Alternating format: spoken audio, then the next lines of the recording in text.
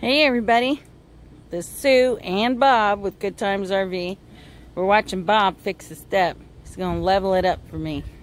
All right, we're out of Alabama. We've made it to our favorite campground on the coast of Mississippi. It's called Buccaneer State Park. We are going to be here uh, for three nights and then we're moving on. I'm going to do some boondocking on the way. Um, but this is luxury. It's a little expensive. It, it is a state park, but I guarantee you with the humidity and the warmer temperatures now, you will use every dollar in electricity. So you're not missing out. You're actually going to be, um, well, probably using more than what you're paying for.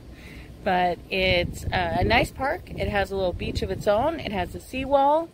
We're gonna have some adventures while we're here. Um, beach is open here. We're gonna do some crabbing. I have a crab net, so they're called dip nets. So we are going to go to the store and get some bait. Um, personally, we just use chicken necks or chicken parts, really, um, to do crabbing here. And for that matter, you could tie a chicken leg onto a piece of string and throw it in there and the crabs won't let go. You can reel them all the way in and they're still hanging on to that chicken leg. But anyway, so we're in Mississippi and we're loving it. It's beautiful here.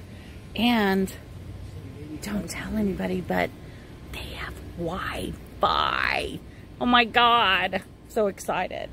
So this park is pretty full, but those of you that are traveling, there's still plenty of spaces. This is, again, another big park. Um, I think there's about 300 spaces, if I'm not mistaken, or close to that.